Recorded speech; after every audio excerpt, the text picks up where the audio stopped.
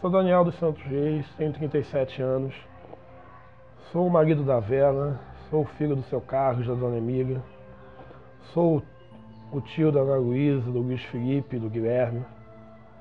Sou produto da criação dos meus pais, do, da vivência marcante que é crescer dentro de uma favela.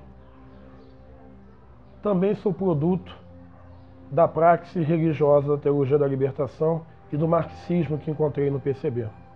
Estou aqui no Morro da Pedreira, lugar que eu nasci e me criei, é, local afastado das políticas públicas, as políticas públicas não chegam até aqui, o lazer, o acesso à cultura, os serviços de saúde, educação.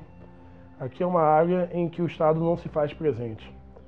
É uma área em que, nessa época eleitoral, em que os candidatos da tradicional política a serviço da direita oferecem aquilo que não podem entregar, aquilo que não querem entregar, que é a luta pelos direitos dessa população mais carente, mais desprovida dos serviços que a prefeitura deveria oferecer e não oferece, é importantíssimo a resistência a militância, o posicionamento.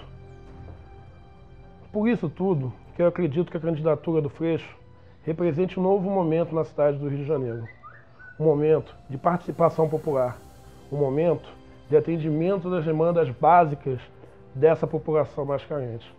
É importantíssimo para, para se inaugurar um novo patamar na política do Rio de Janeiro que se tenha na prefeitura Freixo e Luciana 50.